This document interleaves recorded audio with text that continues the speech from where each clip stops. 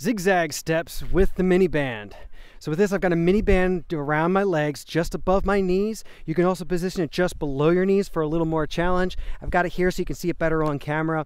Uh, just don't put it on your knees. So either just below or just above the knees there. And then you're simply taking a step from a nice uh, hip width stance or a little bit wider. And then you're bringing one foot in, almost tapping the in inside foot. You don't have to actually tap, but bring it that close and then step it back out nice and wide facing forward and then in and out wide again. So if you could, uh, if you're just bringing it to hip width, it's gonna be less of a challenge. The bigger step you take, the more challenge you're getting. However far you step though, it's key that you're making sure you keep your feet parallel, knees in line with the feet there. So I'm looking at my back leg as well, front and back leg, nice and uh, keeping the knees lined up with the middle of the feet there with each and every step.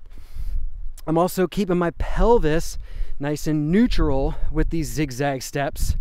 Uh, and you could do that by keeping your uh, fingers on the bony protrusions, the front of your hips here, and then your fingers should stay level with each other. So you don't want to be doing this exercise by hiking. I don't even know how to demonstrate this. you just there just shouldn't be any hip hiking going on here. You shouldn't be, uh, you know, tilting your spine back and forth. All right, stay nice and level. Little athletic stance, slight little mini squat to start, and then a foot comes in close and then back out, close and back out, close and back out, stretching that mini band out with every single rep through each step, feet parallel and neutral. You can go off in whatever direction you want to, forward and backward. Whatever distance you can work with, try to get forward and backward steps there, and just try to land wherever you started. If you land wherever you started, you most likely got an even amount of forward and backward steps there both, but try to keep that balance.